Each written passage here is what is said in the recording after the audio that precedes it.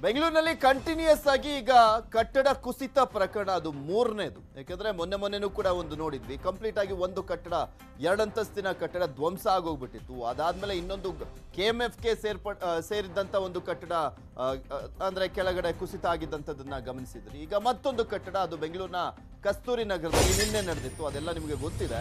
ಆ ಕಟ್ಟಡ ವಾಲಿದ ಕೇಸ್ಗೆ ಸಂಬಂಧಪಟ್ಟಂತೆ ಮತ್ತೆ ಮುಂದುವರೆದಿದೆ ತೆರವು ಕಾರ್ಯಾಚರಣೆ. ಸಂಜೆ ವೇಳೆಗೆ ಕಟ್ಟಡ ತೆರವು ಕಾರ್ಯ ಅಂತ್ಯ ಆಗುತ್ತಂತೆ. ಸಂಜೆ ವೇಳೆಗೆ ತೆರವು ಕಾರ್ಯ ಅಂತ್ಯ ಆಗುತ್ತಂತೆ. ಈಗಾಗಲೇ ಐವತ್ತು ಪರ್ಸೆಂಟ್ ಅಷ್ಟು ಕಟ್ಟಡ ತೆರವು ಅಂತ್ಯವಾಗಿದೆ. ಸುರಕ್ಷತಾ ಕ್ರಮಗಳೊಂದಿಗೆ ಬಿಬಿಎಂಪಿಯಿಂದ ತೆರವನ್ನ ಮಾಡಲಾಗ್ತಾ ಇರುವಂಥದ್ದು. ಸ್ಥಳದಲ್ಲೇ ಬಿಬಿಎಂಪಿ ಅಧಿಕಾರಿಗಳು ಕೂಡ ಇದ್ದಾರೆ. ಅವರು ತೆರವು ಕಾರ್ಯಾಚರಣೆ ಯಾವ್ಯಾವ ರೀತಿಯಾಗಿ ನಡೀತಾ ಇದೆ ಅನ್ನೋದ್ರ ಬಗ್ಗೆ ಪರಿಶೀಲನೆ ಮಾಡ್ತಾ ಇದ್ದಾರೆ. ಈಗಾಗಲೇ ಮೂರು ಅಂತಸ್ತಿನ ಕಟ್ಟಡದ ಮಾಲೀಕರ ವಿರುದ್ಧ ಬಿಬಿಎಂಪಿ ರಾಮಮೂರ್ತಿ ನಗರ ಠಾಣೆಗೆ ದೂರನ್ನು ಕೂಡ ನೀಡಿದೆ. ಕಳಪೆ ಗುಣಮಟ್ಟದ ವಸ್ತುವನ್ನು ಬಳಸಿ ಕಟ್ಟಡವನ್ನು ಕಟ್ಟಿದ್ದಾರೆ ಅಂತ ದೂರನ್ನು ನೀಡಲಾಗಿರುವಂಥದ್ದು. ಬಿಲ್ಡಿಂಗ್ನ ಅಕ್ಕಪಕ್ಕದ ಕಟ್ಟಡಗಳಿಗೂ ಕೂಡ ಹಾನಿಯಾಗಿದೆ. ಬಿಲ್ಡಿಂಗ್ ಮಾಲೀಕರು ಪರಿಹಾರವನ್ನು ಕೊಡಬೇಕು ಅಂತ ದೂರನ್ನು ನೀಡಲಾಗಿದೆ. ಈಗಾಗಲೇ ಬಿಲ್ಡಿಂಗ್ ಅಕ್ಕಪಕ್ಕದ ನಿವಾಸಿಗಳನ್ನು ಬೇರೆ ಕಡೆ ಕಳಿಸಿ ನಂತರ ಕಟ್ಟಡ ತೆರವು ಕಾರ್ಯಾಚರಣೆಯನ್ನು ಮಾಡಲಾಗ್ತಾ ಇರುವಂಥದ್ದು. ಜಿಟಿ ಜಿಟಿ ಮಳೆ ಇರೋದ್ರಿಂದ ಇದು ಸಂಜೆವರೆಗೂ ಕೂಡ ತೆರವು ಕಾರ್ಯಾಚರಣೆ ನಡೆಯುತ್ತೆ ಅಂತ ತಿಳಿದು ಬಂದಿದೆ. ಕಸ್ತೂರಿ ನಗರದ ಚನ್ನಸಂದ್ರದ ಡಾಕ್ಟರ್ಸ್ ಲೇಔಟ್ ಎರಡನೇ ಅಡ್ಡ ರಸ್ತೆಯಲ್ಲಿ ಆಯಿಷಾ ಬೇಗಂ ಹಾಗೂ ಆಸಿಫ್ ಇಬ್ರಾಹಿಂ ಈ ಇಬ್ಬರ ಪಾಲುದಾರಿಕೆಯಲ್ಲಿ ಕಟ್ಟಲಾಗಿದ್ದಂಥ ಕಟ್ಟಡ ಇದು, ನಾಲ್ಕು ಅಂತಸ್ತಿನ ಮನೆ ಇದು. ಈ ಕಟ್ಟಡದಲ್ಲಿ ಎಂಟು ಮನೆಗಳಿದ್ದಾವೆ ಟು ಬಿ ಎಚ್ ಕೆ ಮನೆಗಳು. ಅದರಲ್ಲಿ ಮೂರು ಕುಟುಂಬಗಳಷ್ಟೇ ವಾಸವಿದ್ವು. ಅಂದರೆ ಮೂರು ಮನೆಯಲ್ಲಿ ಮಾತ್ರ ವಾಸ ಇದ್ರು ಅಂತ ಕಾಣಿಸುತ್ತೆ. ಉಳಿದಿದ್ದಂಥದ್ದು ಖಾಲಿ ಇದ್ದಿದ್ದಂಥ ಹಿನ್ನೆಲೆಯಲ್ಲಿ ಒಂದು ದೊಡ್ಡ ಅನಾಹುತ ಸ್ವಲ್ಪದರಲ್ಲೇ ತಪ್ಪಿರುವಂಥದ್ದು ನಿಮಗೆ ತೋರಿಸ್ತಾ ಇದ್ದೀವಿ. ಕಟ್ಟಡ ತೆರವು ಕಾರ್ಯಾಚರಣೆ ಯಾವ್ಯಾವ ರೀತಿಯಾಗಿ ಆಗಿದೆ ಅಂತ. ಈ ರೀತಿಯಾದಂಥ ಪ್ರಕರಣಗಳು ಇನ್ನೂ ಕೂಡ ಮುಂದುವರಿತಾನೇ ಇದ್ದಾವೆ ಬೆಂಗಳೂರಿನಲ್ಲಿ ಬಿ ಬಿ ಎಂ ಪಿ ಈ ಟೈಮನ್ನಾದರೂ ಬಳಸಿಕೊಂಡು ಸ್ಟ್ರಿಕ್ಟ್ ಆ್ಯಕ್ಷನನ್ನು ತಗೊಳ್ಬೇಕಾಗಿದೆ. ಗಂಟೆವರೆಗೂ ಇದ್ದೆ. ಆಮೇಲೆ ಸ್ಟಾರ್ಟ್ ಆದಮೇಲೆ ಡೆಮಾಲಿಷನ್ನು ಹೊರಟ್ವಿ ನಾವು. ಈಗಲೂ ಎಲ್ಲ ಮಾಡ್ತಾ ಇದ್ದಾರೆ ಕೆಲವು ಅವ್ರ ಟೆನೆಂಟ್ಸ್ದು ಮನೆಗಳಲ್ಲಿ ಇದ್ದ ಕೆಲವು ಸಾಮಾನುಗಳೆಲ್ಲ ಕೆಲವು ಡಾಕ್ಯುಮೆಂಟ್ಸು ಅದೆಲ್ಲ ಏನೇನು ಸಿಕ್ತು ಎಲ್ಲ ತೊಗೊಂಡಿದ್ದಾರೆ ಅವರು ಕೂಡ. ಇನ್ನು ಸಂಜೆವರೆಗೂ ಆಗುತ್ತೆ ಈ ಕೆಲಸ. ಅದು ಕಮಿಷನರ್ ಡಿಸಿಷನ್ ಮಾಡಿ ಸಸ್ಪೆಂಡ್ ಮಾಡಿದ್ದಾರೆ. ಮಾಡಿದ್ದಾರೆ. ಹೌದು. ಹಾಂ ಹೌದು. ಓನರ್ ಬಿಲ್ಡರ್ ಮೇಲೆ ಮತ್ತೆ ಅವ್ರು ಯಾರ್ಯಾರು ಫ್ಲ್ಯಾಟ್ಸ್ ಖರೀದಿ ಮಾಡಿದ್ರು ಅವ್ರಗಳ ಮೇಲೆ ಕೇಸ್ ಬುಕ್ ಮಾಡಿದ್ರು.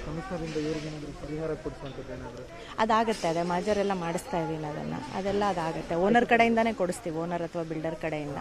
ಎಲ್ಲ ಇದ್ದಿದ್ದು ಬ ಟೆನೆಂಟ್ಸ್ ಇದ್ದಿದ್ದು. ಅದಕ್ಕೆ ಅವ್ರ ಏನಾರು ಇನ್ಶೂರೆನ್ಸ್ ಏನಾದ್ರು ಇದ್ದರೆ ಅವ್ರ ಇನ್ಶೂರೆನ್ಸ್ ಕೂಡ ಕ್ಲೈಮ್ ಮಾಡ್ಬೋದು. ಅದಕ್ಕೆ ಅವ್ರಗಳ ಕಡೆಯಿಂದನೇ ಡೀಟೇಲ್ಸ್ ತಗೋತಾ ಇದ್ದೀವಿ ಏನೇನು ವಸ್ತುಗಳಿತ್ತು ಮನೆಯಲ್ಲಿ ಅಂತ ಹೇಳಿ. ನಾ ಬಿಲ್ಡಿಂಗ್ನಲ್ಲಿ ಇದ್ದಂತ ಬಾಡಿಗೆದಾರರಿಗೆ ಸಂಕಷ್ಟ ಎದುರಾಗಿರುವಂಥದ್ದು. ಇಷ್ಟು ದಿನ ನಾವು ದುಡ್ದಿದ್ದೆಲ್ಲ ನೀರ್ಪಾಲಾಗಿ ಹೋಯ್ತು. ನಮಗೆ ಪರಿಹಾರ ಕೊಡಿಸ್ಬೇಕು ಅಂತ ಬಾಡಿಗೆದಾರರು ಮನವಿಯನ್ನು ಮಾಡ್ಕೊಂಡಿದ್ದಾರೆ. ನಮ್ಮ ಎಲ್ಲಾ ಚಿನ್ನಾಭರಣ ನಷ್ಟವಾಗೋಗಿದೆ. ಅಂದ್ರೆ ಆ ಮನೆಯಲ್ಲಿದ್ದಂಥ ಸಂದರ್ಭದಲ್ಲಿ ದಿಢೀರಂತ ಕುಸಿತ ಆಯ್ತಲ್ಲ? ಸೊ ಹೀಗಾಗಿ ಅವರೆಲ್ಲರೂ ಕೂಡ ಮನೆಯಿಂದ ಹೊರಗಡೆ ಬಂದಿದ್ರು.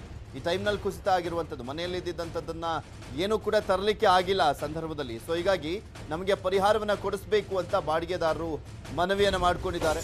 ಈಗ ಸಿಕ್ಕಷ್ಟು ಸಿಗಲಿ ಅಂತ ಹುಡುಕಾಟವನ್ನ ಮಾಡ್ತಾ ಇರುವಂಥದ್ದು ನಮ್ಗೆ ನ್ಯಾಯ ಬೇಕೇ ಬೇಕು ಅಂತ ಬಾಡಿಗೆದಾರರು ಆಗ್ರಹಿಸಿದ್ದಾರೆ. ನಾವು ದುಡ್ದಿದ್ದೆಲ್ಲ ಇಲ್ಲೇ ನೀರಲ್ಲಿ ಹೋಮ ಮಾಡಿದಂತಾಗಿದೆ ಅಂತ ಅವರು ತಮ್ಮ ಅಳಲನ್ನ ತೋಡ್ಕೊಂಡಿದ್ದಾರೆ.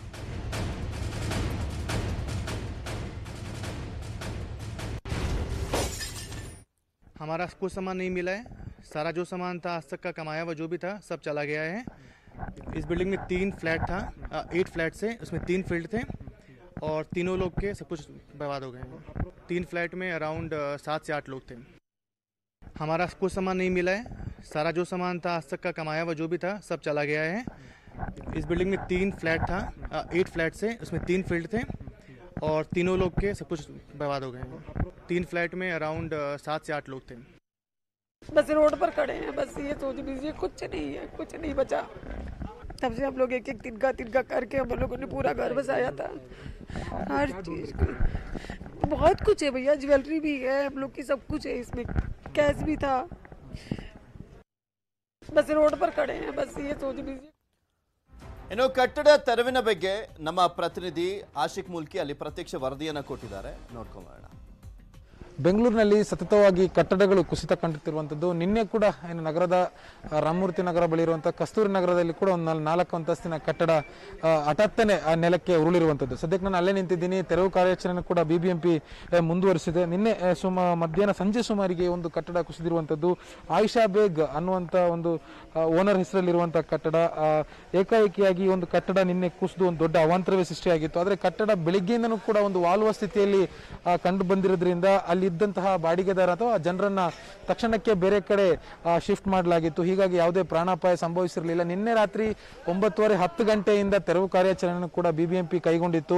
ಈಗಲೂ ಕೂಡ ನಡೀತಾನೆ ಇದೆ. ಸುಮಾರು ಒಂದು ಟ್ವೆಂಟಿ ಪರ್ಸೆಂಟ್ ಮಾತ್ರ ಈಗ ತೆರವು ಕಾರ್ಯಾಚರಣೆ ಮುಕ್ತಾಯಗೊಂಡಿರುವಂತದ್ದು ಉಳಿದಂತೆ ಕಾರಣ ನಾವು ದೃಶ್ಯಗಳಲ್ಲಿ ಕೂಡ ನೋಡ್ತಾ ಇರಬಹುದು, ಸುಮಾರು ಎಂಬತ್ತು ಪರ್ಸೆಂಟ್ ಇನ್ನೂ ಕೂಡ ಬಾಕಿ ಇರುವಂತದ್ದು ಆದರೆ ಈ ಕಟ್ಟಡವನ್ನ ನಿನ್ನೆ, ಈ ಕಟ್ಟಡ ಬಿದ್ದಿರುವಂತಹ ಸ್ಥಳಕ್ಕೆ ನಿನ್ನೆ ಸ್ವತಃ ಬಿಬಿಎಂಪಿ ಮುಖ್ಯ ಆಯುಕ್ತರಾಗಿರುವಂತಹ ಗೌರವ್ ಗುಪ್ತಾ ಅವರು ಕೂಡ ಭೇಟಿ ನೀಡಿದರು. ಭೇಟಿ ನೀಡಿ ಸ- ಕಟ್ಟಡ ಬೀಳೋದಕ್ಕೆ ಏನು ಪ್ರಮುಖ ಪ್ರಾಥಮಿಕವಾಗಿ ಏನು ಕಾರಣ ಅನ್ನೋದು ಕೂಡ ಬ- ಮಾಹಿತಿಯನ್ನು ಕೂಡ ಈ ಒಂದು ಕಟ್ಟಡ ಬಿದ್ದಿರುವಂಥ ಮಾಹಿತಿಯನ್ನು ಕೂಡ ಅವರು ಕಲೆ ಹಾಕಿದ್ರು. ಅಂದ್ರೆ ಪ್ರಮುಖವಾಗಿ ಬಿಬಿಎಂಪಿ ಬಿಲ್ಡಿಂಗ್ ಕನ್ಸ್ಟ್ರಕ್ಷನ್ಸ್ ಬೈಲಾ ಏನಿದೆ?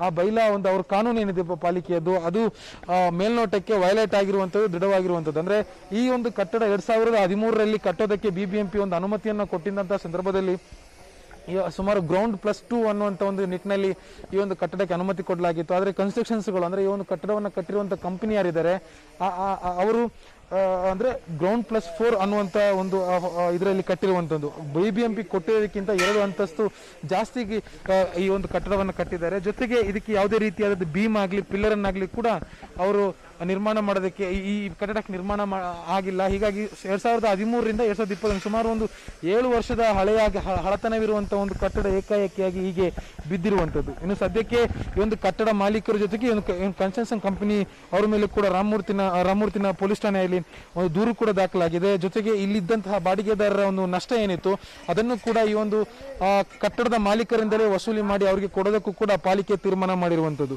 ಇನ್ನು ಈ ಕಟ್ಟಡ ತೆರವು ಕಾರ್ಯಾಚರಣೆ ಇನ್ನೂ ಇನ್ನೊಂದು ಇನ್ನೊಂದಿಷ್ಟು ಅಂದ್ರೆ ಇವತ್ತು ಸಂಜೆವರೆಗೂ ಕೂಡ ಆಗಬಹುದು ಅನ್ನುವಂತ ಏನು ಪೂರ್ವ ವಲಯದ ಜಂಟಿ ಆಯುಕ್ತ ಆಗಿರುವಂತಹ ಪಲ್ಲವಿ ಅವರು ಕೂಡ ಹೇಳಿರುವಂತದ್ದು. ಇನ್ನೊಂದು ಕಡೆ ದೃಶ್ಯದಲ್ಲಿ ಕೂಡ ನೋಡ ನೋಡ್ತಾ ಇರಬಹುದು ಇಲ್ಲಿ ಬಾಡಿಗೆಗಿದ್ದಂತ ಕೆಲವು ಮಂದಿ ತಮ್ಮ ಆಸ್ತಿಗಳು, ತಮ್ಮ ಕೆಲವು ವಸ್ತುಗಳನ್ನು ನಷ್ಟ ಆಗಿರುವಂತ ಹಿನ್ನೆಲೆಯಲ್ಲಿ ಅದನ್ನು ಹುಡುಕಾಡುವಂತ ಸಿಕ್ಕದ ಸಿಕ್ಲಿ ಅನ್ನುವಂತ ಒಂದು ನಿಟ್ಟಿನಲ್ಲಿ ಇಲ್ಲಿ ಬಂದು ನಿಂತಿದ್ದಾರೆ. ಅವರು ಅಳು ಅವರು ಅಳ್ತಾನು ಕೂಡ ಇದ್ದಾರೆ. ಅವರ ಅವರ ನೋವೇನಿದೆ, ಆ ನೋ, ನೋವನ್ನು ಕೂಡ ನಾವು ದೃಶ್ಯದಲ್ಲಿ ಕೂಡ ನೋಡ್ತಾರೆ ಒಟ್ಟಾರೆ, ಒಟ್ಟಾರೆಯಾಗಿ ಬೆಂಗಳೂರಿನಲ್ಲಿ ಸತತವಾಗಿ ಈ ರೀತಿಯಾದ ಘಟನೆ ಮರುಕಳಿಸ್ತಾ ಇದೆ. ಇತ್ತೀಚೆಗಷ್ಟೇ ಬೇರೆ ಭಾಗದಲ್ಲೂ ಕೂಡ ಇದೇ ರೀತಿಯಾದ ಕಟ್ಟಡ K M K M F quarters ಆಗಿರ್ಬೋದು, ಜೊತೆಗೆ ಲಕ್ಷಾಂತರ ಕಟ್ಟಡ ಕುಸಿತ ಆಗಿರ್ಬೋದು, ಇದೇ ರೀತಿಯಾಗಿ ಇರುವಂತಹ ಹಲವು ಘಟನೆಗಳು ಬೆಂಗಳೂರಿನಲ್ಲೂ ಕೂಡ ಮರುಕಳಿಸ್ತಾ ಇದೆ. ಇದೀಗ ಕಸ್ತೂರು ನಗರದಲ್ಲೂ ಕೂಡ ಮರುಕಳಿಸಿದೆ ಕ್ಯಾಮರಾ ಪರ್ಸನ್ ಗುರುಶೇಖರ್ ಜೊತೆ ಅಶೋಕ್ ಮಲ್ಕಿ, ನ್ಯೂಸ್ ಐಟಿನ್ ಕನ್ನಡ, ಬೆಂಗಳೂರು.